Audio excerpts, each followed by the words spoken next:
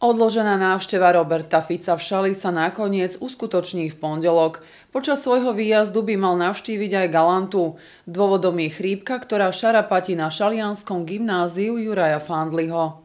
Predseda vlády Robert Fico navštívi v pondelok náš región. Svoj program začne ráno o 10. v Galante na gymnáziu Janka Matušku. Podľa pôvodného plánu mal ale v tomto čase navštíviť gymnázium Juraja Fandliho v susednej Šali. Na škole ale šarapati chrípka. Z Galanty sa premiér presunie do Dusla a na farmu v obci Vlčany. Naplánované má aj stretnutie s primátorom Šale.